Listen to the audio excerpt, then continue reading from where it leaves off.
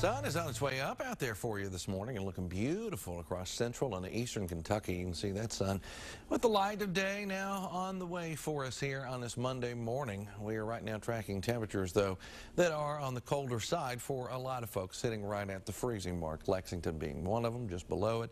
32 in Frankfort, 32 Mount Sterling, 32 in Danville. But to our south and east, still holding on to some of those 40s. I mean, there's a big gap. I mean, you look at Harlan, they're at 44, and you compare that to Lexington, which is one of the colder places around, and you've got 14 degrees that we're swinging there. So uh, you're going to find uh, a lot of that until that coldest air mass that we have available completely reaches every stretch and every inch of Kentucky, and it will.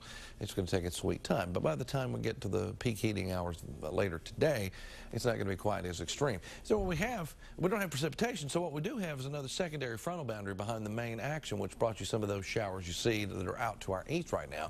That will continue pressing through, and as it does, our numbers will fall because of it. So they'll stay down. So we get the dose of the colder air mass in here in the next few hours, and they'll keep uh, daytime highs in position to stay on the chillier side.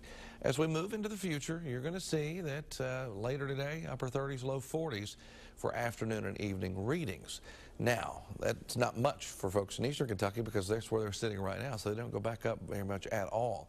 Tonight could be a colder one, low to mid 20s for the early parts of the day, and then low 40s for daytime highs on Tuesday. So it's two days in a row that are at that level of chill here in Kentucky, and then we go beyond that. and We get you into Wednesday, and then that's when our numbers will start coming back up, at least briefly. I think a good shot of low to mid 50s will be with us on that day.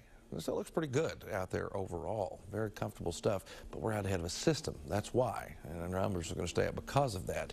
You look at the temperature trend here, and you can see how they go up, and then they go right back down again. So this is just a barely, just a little bump that's in the forecast here for Wednesday and Thursday.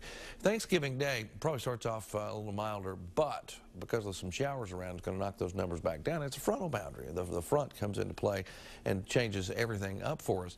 I'll show you that right here, the extended forecast. We go hour by hour. Here comes the front. There you see the showers that are attached to it.